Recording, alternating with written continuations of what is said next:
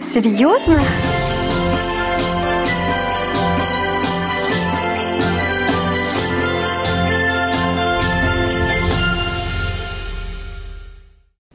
Наливают ей вина заморские, заедает она пряником печатным. Александр Сергеевич Пушкин, как и многие другие, всегда упоминал пряник как изысканное лакомство. И не случайно история этого изделия очень богатая и интересная. О ней сегодня и поговорим с нашей гостьей. Юлия, здравствуйте. Здравствуйте. Расскажите, как так случилось, что вы стали пряничницей? Я всегда любила сладости, я всегда любила экспериментировать, и любой новый рецепт я старалась э, проверить э, самостоятельно у себя дома. И вообще любую, наверное, сладость, э, которую я видела, мне хотелось повторить самой, посмотреть, как это будет в домашнем варианте, а не в магазинном. А, и поэтому, собственно, один из моих экспериментов э, оказался пряничный домик, э, наверное, в 2017 году, когда моя старшая дочка была еще маленькая. Э, мы с ней на Новый год сделали такой замечательный домик. Конечно, он был совсем-совсем домашним, совсем таким ну, обыкновенным, уютным, э, тем, который, который был первым. То есть это да, был самый первый, самый первый пряничный да. домик. Получается, что просто человек из любой профессии может прийти в пряничный мир и создавать вот такую прекрасную красоту. Конечно, главное желание. Эм, я думаю, что любовь к сладкому тоже обязательно нужна, потому что э, изделие нужно обязательно делать с любовью. Ну и чуть-чуть э, или уметь, или хотеть рисовать. То есть здесь все-таки какие-то навыки нужны, э, творчество, художественной, э, художественной кисти? Минимальные, да. Минимальные, скорее всего, нужны. И, конечно же, это терпение, аккуратность, потому что, например, пряничные домики э, требуют очень э, много усидчивости. Это очень схоже с э, мандалами, с арт-терапией, вот, э, с вот такими вещами. Усидчивость, желание и, конечно, любовь. То есть это получается такая раскраска, которую можно раскрасить, порелаксировать, а потом еще и съесть. Да, и самые-самые, наверное, ценители этого вида деятельности, это, конечно же, дети. Дети с большим удовольствием раскрашивают, э, поедают пряники, они накладывают э, вот такой слой глазури, который в несколько раз превышает толщину самого пряника, и иногда даже не видно сам пряник под этим слоем глазури, невозможно определить, что за форма была у пряника, но дети при этом совершенно счастливы, когда они видят свое произведение искусства, и а, в отличие от взрослых, им не жалко его есть. Шесть лет назад начался твой путь в пряничном мире. Вот после того, как вы создали первый пряничный домик с дочерью, попробовали, какие ощущения пришли? Мне было очень интересно, это было очень атмосферно, и всегда совместная деятельность, совместное творчество с ребенком, оно, конечно, всегда приносит радость и удовольствие. Потом, к сожалению, я прервала свой пряничный путь на некоторое время, у меня появился второй ребенок, и как обычно бывает э, у женщин в декрете, я как раз нашла время и возобновила свой пряничный путь. Скажи, младший ребенок тоже любитель сладкого? Он не настолько любит сладкое, как, например, я и старшая дочь, но пряники — это его любовь. Э, он их ест, наверное, с момента, когда ему исполнился годик. Он постоянно таскает их с противня еще горячими. Я не знаю, если честно, когда он наестся, потому что пряники я делаю достаточно часто, и вот этого момента, что э, он, чтобы мои дети отказались от пряника, от свежеиспеченного ароматного пряника, еще такого не было. Конечно, никто не откажется от свежеиспеченного пряника. Расскажи, есть ли у тебя какой-то э, индивидуальный рецепт, такой, который э, с секретным элементом, с какими-то э, технологиями, которые только ты знаешь? А, своего рецепта у меня пока нет. Я думаю, что для этого нужно чуть больше углубиться в технологию продуктов, технологию производства. А, я нашла для себя, подобрала для себя рецепт одной известной э, мастера по росписи пряникам. Она проводит э, курсы по росписи пряникам, я у нее училась, и подобрала для себя вот этот именно ее рецепт. А вообще сейчас огромное количество рецептов пряников и видов пряников, поэтому если есть желание заниматься этим или попробовать, я советую попробовать несколько рецептов, чтобы выбрать для себя самый любимый. Я знаю, что история пряника идет из древнего Египта, еще от каких-то медовых лепешек, и мед использовали как консервант. И потом, в процессе своего становления, именно эта ковришка стала а, вообще ритуальной. И, и печатный пряник пекли на именины и специально на ночь ставили за образ э, своего ангела-хранителя. И считалось, что ангел-хранитель должен угоститься и на весь следующий год благословить вот этого человечка, чьим ангелом он является. И молда вот под этот печатный пряник э, делали мастера, то есть э, были не только пряничники, а еще э, пряничники, столяры и там люди, которые работают с деревом, которые выбивали это все, и получался пряник именно печатный. А еще я знаю, что люди, которые изготавливали раньше пряничники, они не использовали гири, а использовали специальные для э, отвеса элементов пряника, они использовали какие-то непонятные штуковины, гаечки, болтики, железки, и постоянно их прятали, чтобы никто не мог взять их индивидуальный рецепт. Вот сейчас, э, скажи, ты чувствуешь конкуренцию какую-то? Конкуренция, она всегда есть, и я думаю, что это хорошо, потому что конкуренция позволяет тебе ну, во-первых, э, сравнить да, свои силы, посмотреть, помериться силами, э, посмотреть на конкурентов, что у них э, есть. И конкуренция в любом случае позволяет расти. Когда ты видишь кого-то сильнее себя рядом, тебе хочется тоже стать сильнее. Поэтому я за здоровую конкуренцию. Мне нравится, что вокруг люди занимаются пряниками. Есть даже женщина у нас в городе, которая ко мне обращалась за консультацией, которая хотела начать, она я думаю, что предпенсионного возраста, и она хотела заняться. Никогда не поздно начать что-то да. новое. Я с удовольствием раскрывала ей какие-то э, небольшие секреты, какие-то лайфхаки для того, чтобы ей стало чуть легче, чем мне было в начале пути. Это отлично, ты такой наставник, йода, куратор. Это очень здорово, что ты готова в открытую делиться своими рецептами. Скажи, есть ли у твоих пряников э, сильные стороны? Вот прям сильная сторона, как ты считаешь, в чем? А, пряники по моему любимому рецепту – это очень мягкие пряники. Они даже немного неудобные в транспортировке, немного неудобные для меня, как для мастера в работе. Но они очень мягкие, и они остаются мягкими и ароматными на долгое время. А, я проводила эксперимент, три месяца вылежал, выдержали мой пряник.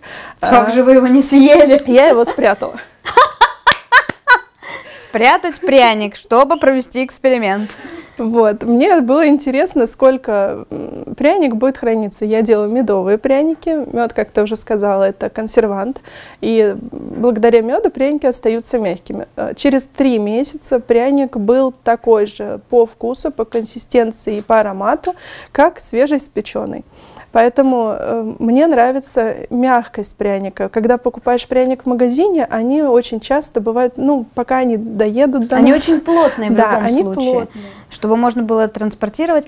Скажи, а, вот домик это все-таки моделирование. Как ни крути, это съедобное моделирование. И вот кондитеры, лично для меня, они делятся всегда на две категории, к сожалению. Очень редко происходит так, что кондитер совмещает э, две функции. Одни кондитеры делают очень красивые, интересные фигурки и позиции сладкие, а другие кондитеры используют раф ингредиенты, что-то такое эко, вкусное, и, соответственно, это получается не так красиво красиво и презентабельно, как те, которые делают ставку на внешний вид. Вот как у тебя получается совмещать мягкий пряник и вот такую прекрасную концепцию, которая кажется железобетонной, спокойной, абсолютно стабильной? Ну, к этому приходишь с опытом. Ну и здесь который, домик, который я сегодня принесла вам, а, он выполнен из другого вида теста. Это второй у меня в ранге. А, второй вид теста, он без использования меда, он на жженом сахаре. На карамельке. Да, вот на это этой. карамельные пряники. Они чуть более плотные снаружи, но внутри они такие же мягкие. И они очень-очень ароматные. Да. Здесь не только мед, причем мед я тоже чувствую, наверное, вот от того мед пряничка, от второго, да. да. Мы а можем показать. Его? Давай разломим его. Вот это пряники, которые по моему любимому рецепту. Ой, он как бисквитик. Да. А это пряник как раз по второму рецепту, карамельный пряник. Он без использования меда, и он чуть плотнее снаружи. Поэтому из него, конечно, домики делать гораздо удобнее. То есть это такой строительный пряник? Да. Но он пахнет, он все равно очень хорошо он пахнет. же пряник, он должен быть пряный. Он плотнее. Да. Он плотнее, он темнее, потому что это жженый сахар. И он немножечко хрустит. Пряник, покрытый глазурью, он, конечно же, впитывает влагу из глазури. И даже вот такой строительный, как ты его назвала, пряник, он становится мягкий, пушистый, вкусный приятный. Я знаю, что есть айсинг, это такая белковая глазурь, да. то есть это взбитый белок и сахарная пудра, лимонный сок иногда добавляют. Да. А есть еще просто лимонный сок и глазурь. Вот ее когда используют? Но это, скорее всего, для традиционного пряника в нашем понимании не расписанного с картинкой, с каким-то персонажем, а ну, как на манер тульского пряника, когда Печатный. нужно выделить да, какие-то детали. То есть она менее плотная, она просто дает вот именно выделение каких-то деталей. Я, конечно, пользуюсь э, белковой глазурью. И как сделать ее стабильной? Я очень много раз делала белковую глазурь, и после того, как я ее нанесла, высушила, подхожу, она делает и все, и там разлом, там Марианская впадина. Как сделать ее стабильной, чтобы она не ломалась? Взбивать. Взбивать подольше. Больше взбивать. Да. Чтобы она была плотная. Да, и чем больше мы взбиваем глазурь, тем более плотнее она насыщается кислородом, становится плотнее, и, соответственно, какие-то декоративные элементы, как на домике, какие-то а, рельефные элементы выполняют как раз а, такой хорошо взбитой густой глазурью. Для заливки пряника, для фона используется менее а, густая глазурь, которая так и называется заливочная. Расскажи, как в новогодние праздники можно сделать досуг с ребенком именно в пряничной атмосфере? Что для этого нужно? Я вот знаю, что везде продаются формочки разные. Как мы делаем тесто? Сливочное масло, пряности, какие? Я использую корицу, конечно же, имбирь. Иногда добавляю мускатный орех. Я не увлекаюсь пряностями в изготовлении своих пряников, потому что основная аудитория, конечно же, это дети. Дети не очень любят э, сильно пряные изделия. Если э, я знаю, что я готовлю для взрослых людей, конечно же, я добавляю чуть больше пряностей. Э, к этому набору мы добавляем яйца, да, муку просеянную и разрыхлитель. Э, есть несколько технологии приготовления. Есть заварные пряники, есть сырцовые пряники. Сырцовые это без использования тепловой обработки вообще во время, во время замешивания теста. А -а -а. Потому что заварные пряники, э, тесто заваривается с использованием... Это как раз жженый сахар, и туда мы уже добавляем муку, да. масло, и потом уже снимаем с огня и вбиваем яйца. Да. Ага, интересно. А имбирь? Я про имбирь ничего не услышала. Имбирь нужен? Конечно же. Они же имбирные называются. Конечно же. Я люблю в зимнее, в холодное время года добавлять чуть больше специй, чтобы они согревали. А в летнее время я чуть меньше специй добавляю. А это уже дело вкуса, как вы будете делать. С детьми, конечно же, я думаю, что замешивать тесто нужно вместе, потому что дети любят, в отличие от взрослых, перепачкаться мукой, э, помешать или миксером, или венчиком, помешать тесто, э, залезть руками в это тесто, прилипнуть по уши. Что это... делать, чтобы не прилипнуть? Маслом растительным мазать? Э, нет, сначала нужно прилипнуть. Тесто с медом, оно липкое. И сначала в любом случае придется прилипнуть. Но это очень вкусно, это очень ароматно, и это очень здорово. Поэтому я всем советую в новогодние, э, если до новогодних праздников вы не успеете, то в новогодние каникулы обязательно с детьми э, испечь пряники. Потому что и процесс замешивания теста, он очень ароматный, он очень сближает. И процесс раскатки теста, и выбор форм для пряников, фигурок вырезания. Это то, тоже очень интересный. Ну и, конечно же, роспись пряников – это особое удовольствие.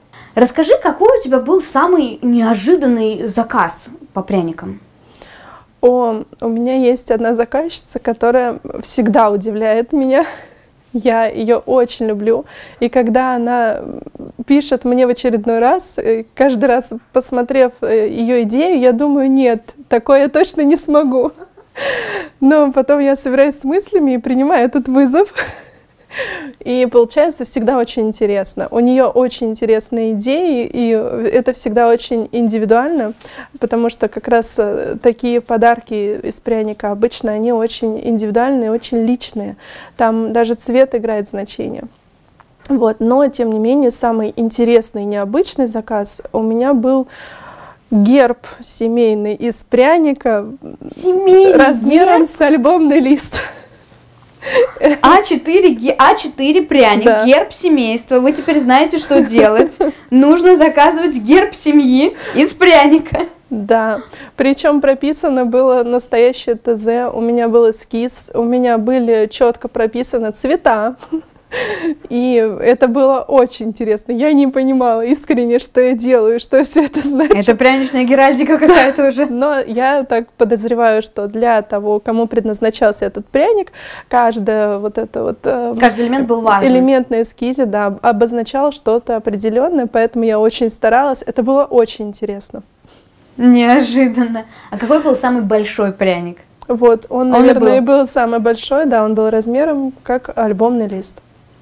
Неожиданно. А пряники для тортиков ты делаешь? Да, конечно. С этого, я думаю, началось мое такое становление как пряничница, когда дочке исполнилось, исполнилось 7 лет, я заказывала пряники, потому что ну, я понимала уровень своих пряников и уровень профессионалов.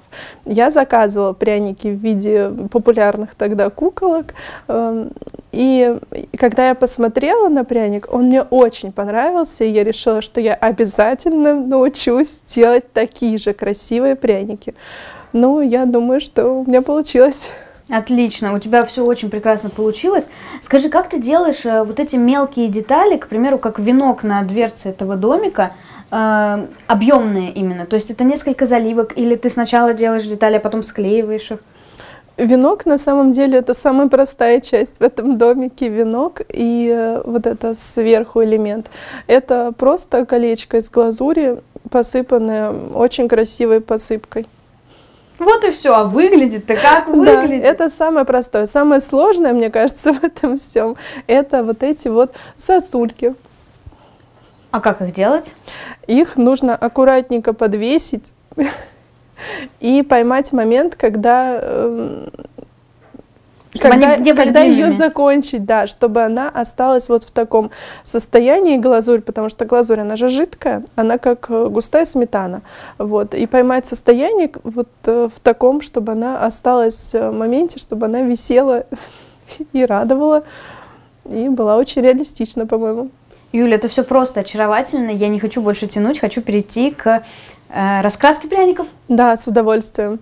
Говорят, что лучше один раз попробовать, чем много раз услышать. Вот сейчас и будем пробовать расписывать пряники, а потом их есть, надеюсь. Я сегодня принесла для тебя, ну, во-первых, я хочу тебе подарить а, вот такого вот замечательного символ вашей программы. Спасибо. Фламинго. Сейчас будем делать ему новогодний колпачок. Да. Но сначала, наверное, займемся, как а, все пряничницы, да, сначала давай. займемся заливкой пряника. Пусть он здесь с нами полежит. Угу. Так, я предпочитаю делать пряники вот на таком коврике силиконовом, который оставляет ровный край. Если на обычном пергаменте, то здесь возможны, когда скапливаются пузырьки воздуха э, между э, пергаментом, например, и тестом, то в духовке образуются такие ямы. Угу. Вот. И расписывать пряник неудобно. В общем, лучше брать силиконовый коврик, и он да. красивый получается. Да, если мы расписываем эту сторону, то она должна быть ровная, плоская. Посмотрите, у нас два вида пряника. Соответственно, этот более такой пухлый, этот надутый, мой. да, а этот более плоский. Если у вас получились вот такие пряники, то вы можете расписывать вот эту сторону. Пряник медовый вкусный, пряник строительный на жженом сахаре. Если так. у вас пряники пухленькие, то, скорее всего, лучше будет расписывать с изнаночной стороны, вот здесь. Тогда я расписываю с изнаночной стороны. Да, ну я тоже с тобой. Мой пряник пухленький, соответственно, какая хозяйка, такой пряник. Итак, я приготовила несколько а, цветов, несколько видов глазури. У нас с тобой есть заливочная глазурь. Это не густая глазурь, которая будет хорошо а, расплываться на прянике. Есть контурная глазурь, которая в консистенции как густая сметана, ей нужно сделать сначала контур. Итак, мешочек мы берем а, в руку, э, зажимаем большим пальчиком мешочек, чтобы глазурь не убегала в край. А, остальными пальцами обнимаем мешочек, и вот этими пальцами мы будем регулировать э, нажатие, силу нажатия. А, это вариант для новичков, и для деток, потому что им ну, наиболее, наверное, удобный вариант. Если мы уже профи, то мы можем э, немного по-другому взять наш мешочек, взять его а, как ручку чуть поближе и регулировать нажатие вот этими двумя пальцами, а здесь также зажать мешок большим пальцем. Итак, мы приступаем к нанесению контура на пряник. Для чего нужен контур? Контур нужен для того, чтобы глазурь заливочная не убежала с пряника. Очень часто при начале работы с, работы с пряниками глазурь убегает с пряника и... Растекается полностью. Да. И получается такое привидение. Да. Очень вкусное привидение э, лужица из глазури. Это точно. Прошу. Ну что, моя очередь. Я беру как начинашка. Еще раз показываю. Берем конвертик, зажимаем большим пальцем и остальными пальчиками регулируем. Я не скажу, что это будет ровно.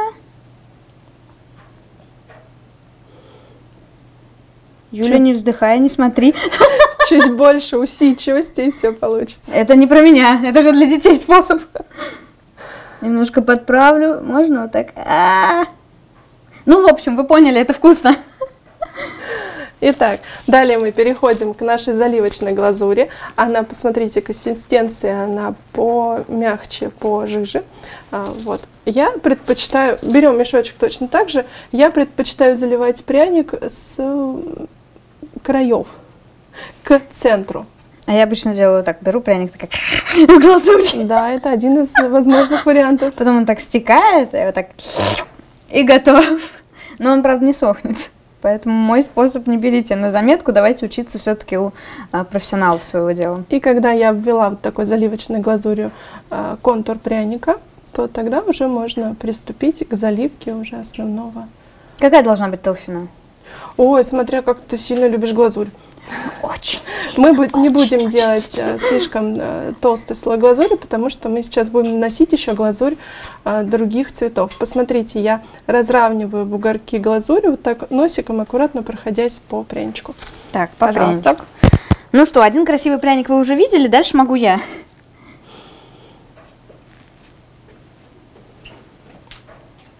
Надо больше глазури? Да, подходи ближе к контуру, потому что видишь, у тебя заливка с контуром не встретились. Заливка с контуром должна встретиться. Для этого мы контур и делали. Да, и носиком можно разровнять то, что получилось неровно.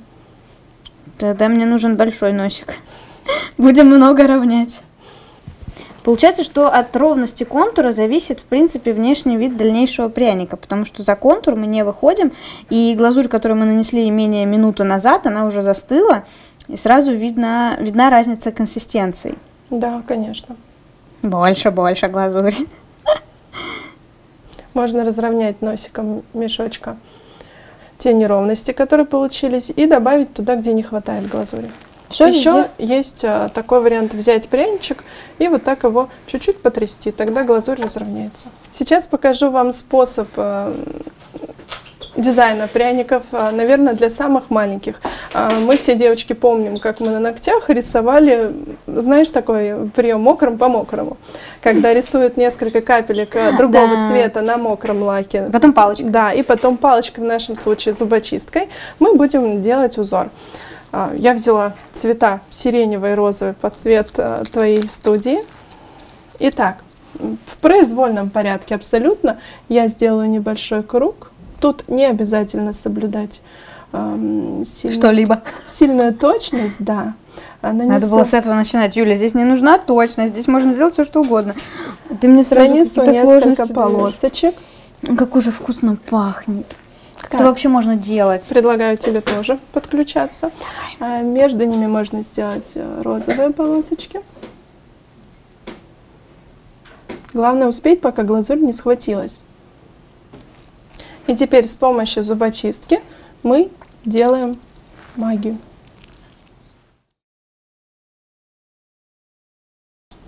конце можно добавить тоже несколько элементов. Что, приступаем к магии. Точки, линии всегда добавляют э, интерес прянику, дизайну. Пряничный дизайн это не так-то просто. Но мокрым по мокрому интересный способ и действительно очень простой. Да, раньше мы так украшали ногти. Ну что, покажем, что получилось? Да. Этот способ мы попробовали, у нас прянички еще не подстыли, поэтому аккуратненько их покажем. Такая красота у нас получилась. Вспомним, да, что Юля профессионал, а я просто Саша. Тоже очень красиво.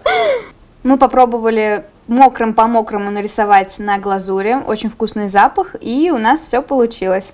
Итак, на подготовленные пряники э, контурной глазурью мы наносим узор, который вам нравится. И я подготовила сегодня посыпку. Это рисовые шарики, это э, взорванный рис. Э, как он похож на сухие завтраки. То есть внутри он очень мягкий и хрустящий. Эм, сахарная посыпка, она очень красивая, она очень распространенная, но я больше рекомендую взорванный рис посыпку, э, потому что она очень мягкая, она кусабельная, как это называется. Итак, мы наносим орнамент. Здесь мы можем надувать шарик вот такой из глазури.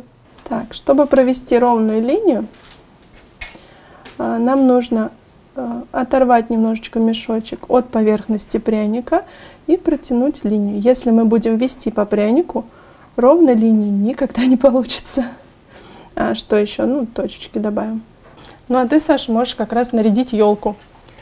Наряжаем елку. И добавляем нашу посыпку. Руки трясутся, страшно, страшно что-то покалечить, потому что такая красота. И будем делать Серпантин. Немного приподнимаю мешочек с глазурью, и действительно получается ровная линия, насколько это возможно. Очень хорошо. И теперь, чтобы закрепить мне вот эти бусинки, нужно сделать э, ну, небольшие... Ну, да, побольше точечку точечки. сделать, чтобы глазури было к чему прицепиться.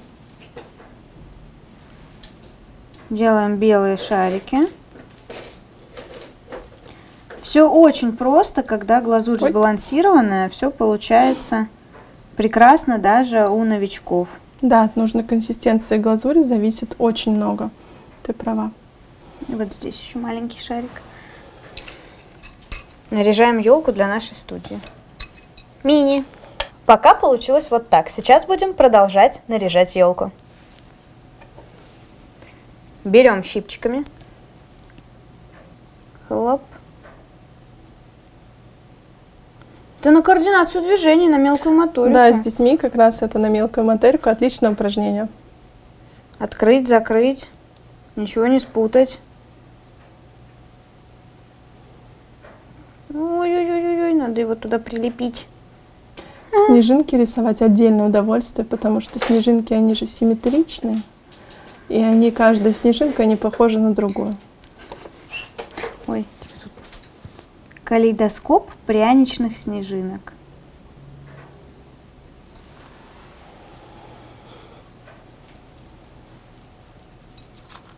Я почти.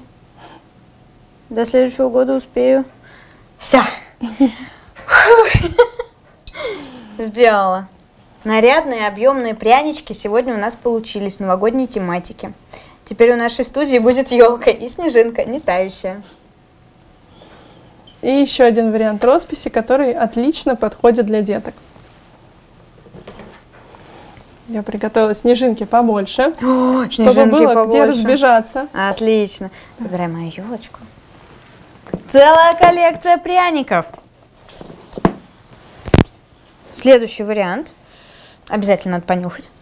Да. Это снежинка большая. Угу. Здесь я предлагаю работать заливочной глазурью, а, ну, может быть, сделать ее чуть-чуть погуще, угу. потому что у нас будет э, один эффект в дальнейшем. Итак, мы наносим контур, можно прям по, э, по рисунку снежинки сделать вот такие капельки. Угу. Жидкая глазурь абсолютно по-другому, не контурная. Это и работать э, интересно. Она мягкая, но в то же время ее нужно контролировать, потому что она заливочная.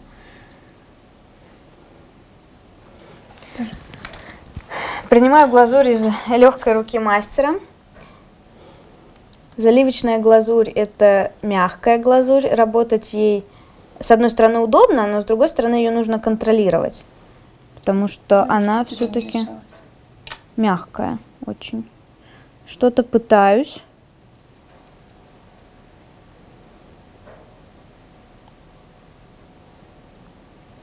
Вот видите, секунда промедления, и все, она уже течет.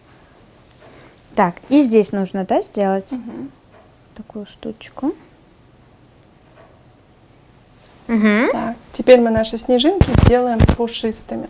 Кто хоть раз держал снежинку на варежке, знает, что она очень пушистая, приятная. А делается это с помощью обычного сахара. Мы на незастывшую глазурь посыпаем Детям очень нравится этот процесс. Сахар можно заменить кокосовой стружкой мелкой, но дети не все любят кокосовую стружку, поэтому я со своими дома делаю с сахаром.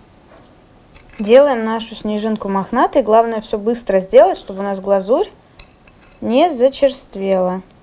Да, поэтому мы взяли глазурь более жидкую.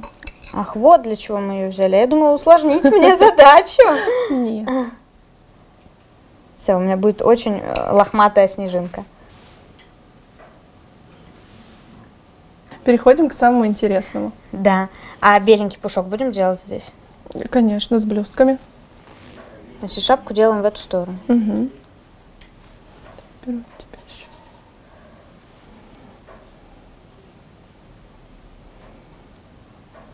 Такой вот. Большой будет у нас. Да? Угу. И обязательно нужно разровнять носиком, потому что эта глазурь более плотная. Ну, это же шапка, она у нас будет пушистая. Ну, как-то так. Угу. Так, теперь мне нужно вот этим, вот, этим, да, вот этим, вот этим сделать э, пушистую каемочку. Угу. Здесь как раз можно не разравнивать, чтобы придать э, рельеф. Теперь Куда мы девочки без блесток? Да, нужны блестки. Итак, у нас есть пищевые блестки. Угу. Я предлагаю тебе кончиком. Давай. Да, чуть-чуть и насыпаешь.